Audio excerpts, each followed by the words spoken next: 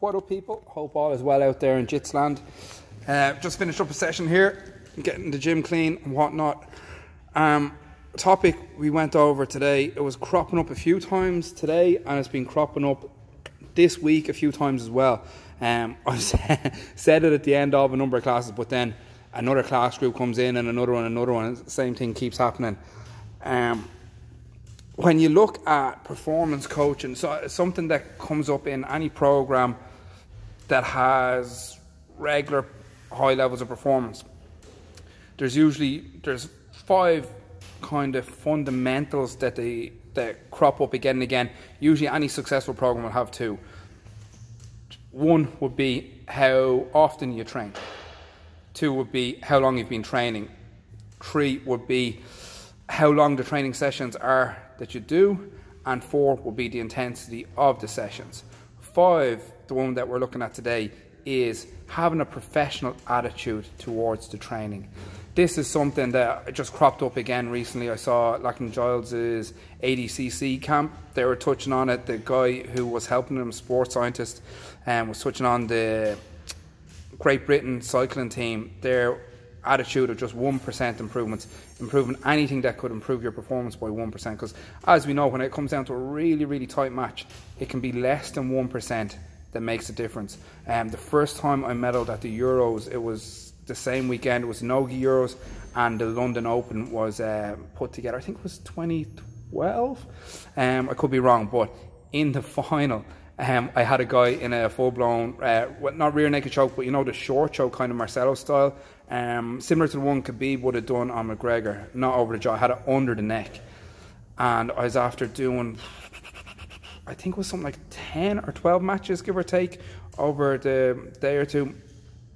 And I just was sloppy with my grip. So as the guy, just fatigue messed it up. As the guy was going unconscious and he started spasming, my grip slipped because I didn't have the level of grip that I should have had.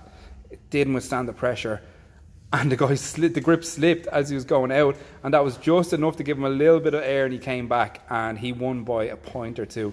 So he was just holding out to, for the time to run out, and um, that's what happened. So really, really nailing in any small thing that you can that will help your performance can make the difference.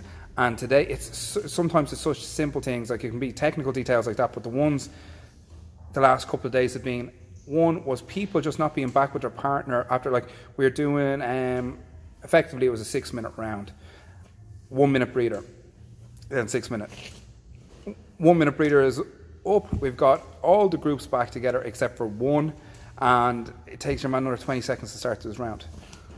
That 20 seconds if we're only doing five rounds that's 5 times 20 100 seconds say a minute and two thirds out of 30 minutes. That's I don't even know offhand, but say approximately 4% of your rolling time you just lost. Just right there. For no reason other than you left your water bottle the far end of the mat compared to where you were, or you just too, took too long to get to it and get back. A minute is plenty of time to get your water in. Um, another one, tying your belt and tying your trousers. The belt comes off a lot, fair enough. Tie it in the minute. If it's not tied in the minute, don't tie it. but a minute should be loads of time to get your water and tie your belt. The trousers, letting your trousers become untied halfway through round. I understand some positions can really put a bit of strain on it, but if not, like the one today was just normal, standard scenarios, and trousers kept coming off. And I was watching him tying them, and it turned out he, he wasn't tying them right. Um, just doing a loose knot that was going to keep coming loose, rather than getting a solid knot and doubling up on it. And just by virtue of that, by tying a knot properly, will make the difference, that 1% difference that we're looking for. So there's a lot of, like we are saying, a lot of components to a successful training program, to your progress. And one of the easiest ones is being professional and looking to do whatever you can to progress more. And these small things can do it. And the third one that I was noticing the last few days actually was during drilling people talking. Now, I understand you can talk about the technique a little bit, but a lot of time it was one person trying to coach the person, other person how to do the technique, but they didn't fully know how to do the technique anyway. And that's not how drilling works. You know, there is a time when you figure stuff out, but it's more so like when you're at home, you're watching the ta tape, technique, whatever, thinking about it. you're sorting out your understanding of the move. You can consult with your training partners outside of training, consult with your coach. During, before class, after class, you can just grab some, oh, can I just try this out, see if how it works. When it's time to drill, generally speaking, that isn't the time where you only get two or three reps in in a three minute round.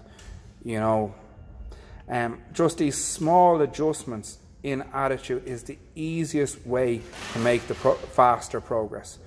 You know, like how long you've been training, that's a hard one to fix. You started when you started. How often you train. Some people are restricted by their work schedules, etc. How hard you train when you do train is one we can look at. And how long the training sessions are when you train, that's another one that people might be restrained in. But one that we all can do easily is just having a more professional attitude in and more responsibility for our progress in training. It'll make a huge difference and it's the easiest one to add to what you're already doing. So when you're getting your water, be ready when the round starts. The, round, the rounds are the most fun. Why would you want to miss some of it? Same with when you're tying your trousers, tying your belt, talking to your friends, etc. Just get the work done when you're meant to get it done. All right. If you do, you'll progress faster and you'll go further. Talk to you guys again, or else I'll see you on the mats. USA.